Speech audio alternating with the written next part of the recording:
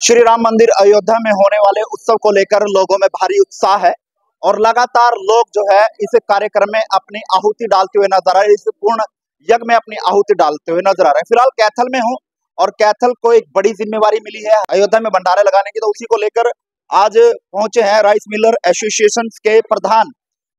बिट्टू छावड़ा जी उनसे जानेंगे किस तरह का सहयोग फ़िलहाल राइस मिलर एसोसिएशन जो है वो करना करने जा रही है। और किस तरह का सहयोग उनके द्वारा जो है वो फ़िलहाल किया जा रहा है? क्योंकि लगातार तमाम लोग जो है इस यज्ञ में जो है वो आहुति डालते हुए नज़र आ रहे हैं। बिट्टू छावड़ा हमारे साथ। नमस्कार बिट्टू। हाँ जी नमस्कार जी। सर अयोध्या में श्री राम मंदिर के लेकर काफ़ी उत्साह जो है वो लोगों में नज़र आ रहा है। तो राइस मिलर एसोसिएशन की ओर से किस तरह का कदम उठाया गया और किस तरह से सहयोग जो है वो किया जाएगा? राइस मिल एसोसिएशन की तरफ़ से मैं आपको बता देना चाहता हूँ कि हमारे प्रधान जी ने महेंद्र जी ने श्री राम जी कैटरिंग इन्होंने पूरा इसका बीड़ा उठाया हुआ है। और ये बहुत बड़ी जिम्मेवारी है, ये जितना समय निकाल रहे हैं, इतना समय कोई नहीं निकाल पाता।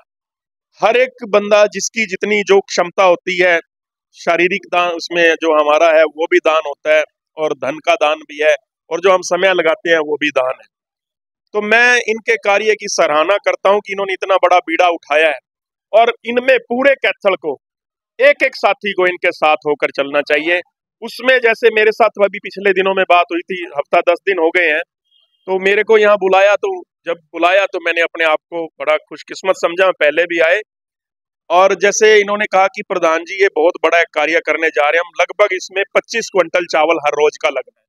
तो लगभग वो जो हज़ार था, अब वो हज़ार का बारह पंद्रह सौ टन बारह पंद्रह सौ के करीब लगेगा बारह पंद्रह सौ क्विंटल।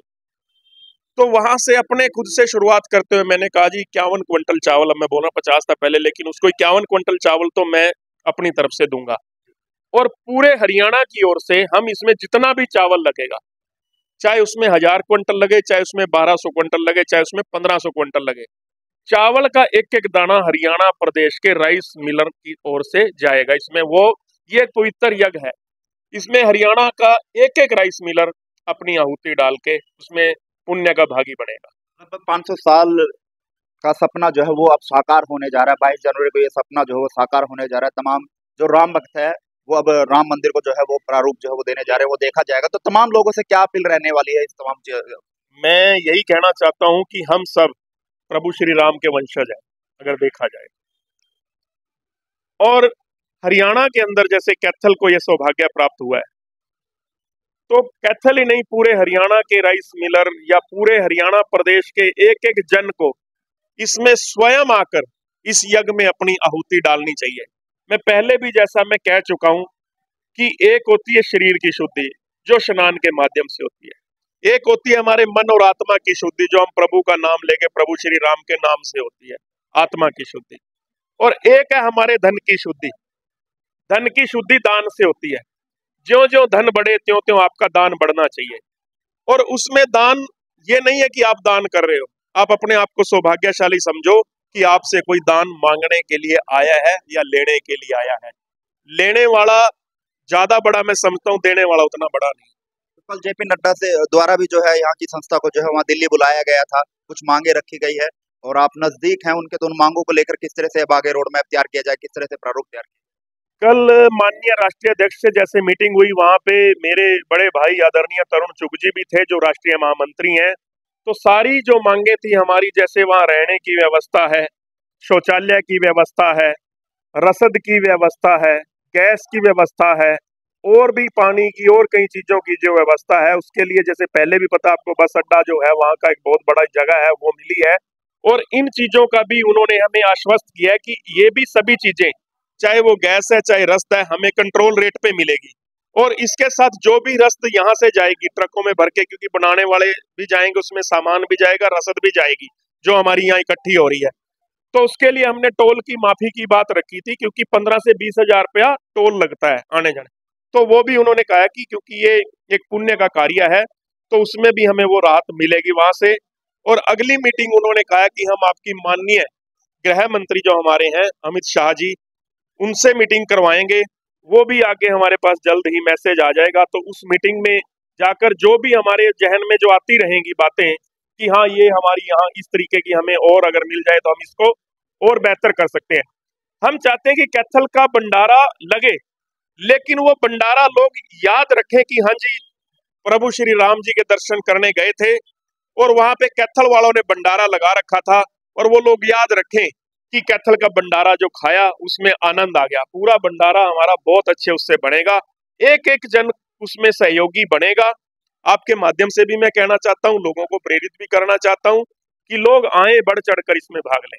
एक बहुत बड़ा सहयोग, एक बहुत बड़ा ऐलान आज राइस मिल एसोसिएशन के जो प्रधान है, बिटू छाबड़ा, उन्होंने किया है कि हज़ार बारह सौ, पंद्रह सौ क्विंटल इस भंडारे में जो भी चावल लगेगा, वो जो है इनके एसोसिएशन की ओर से दिया जाएगा और पर्सनल जो इन्होंने इक्यावन क्विंटल चावल जो है वो उनको खुद देने की घोषणा की है।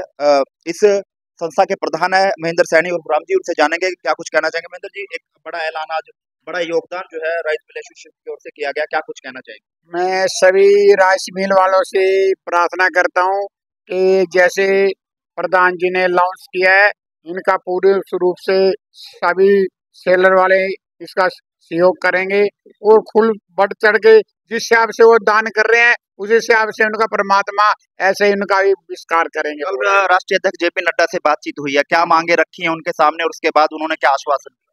ये मांगे जो रखी थी ये चावड़ा जी ने बता दी ने चावड़ा जी ने। और जो इसके बाद में जो मांगे रखी हमारे ट्रक वालों को आने जाने की कोई भी आपको रस्ते में कोई भी तंगी नहीं आएगी। माफ़ी की भी बात मांगी हाँ, टोल फ्री टोल फ्री करेंगे वो इन्होंने ऐसे वासन दिया।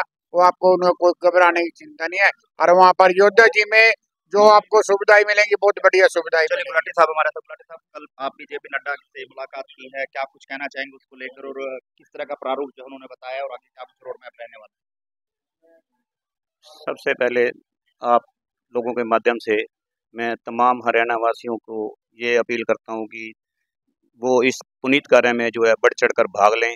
पुनीत कार्य में बढ़ चढ़ कर अपना सहयोग करें। ताकि ये जो है, चालीस दिन से जो है, भंडारा जो है, साठ दिन का जेपी नड्डा जी के आग्रह पे हुआ है। तो इस पुनीत कार्य को पूरा करने के लिए पूरे हरियाणा वासी जो है, इसमें बढ़ चढ़ कर भाग लें और ताकि इसको कार्य को जो है, संपूर्ण किया जा सके। और मैं तमाम हरियाणा राइस मिलर एसोसिएशन का भी बहुत धन्यवाद करता हूँ कि उन्होंने एक बहुत बड़ा ऐलान जो है, इस यज्ञ में डालने के किया है। बिल्कुल, अगर आप भी चाहते हैं इस पुण्य कार्य में भाग लेना, हिस्सा देना, योगदान करना तो आप कैथल के पार्क रोड कार्यालय में आकर आप योगदान कर सकते हैं।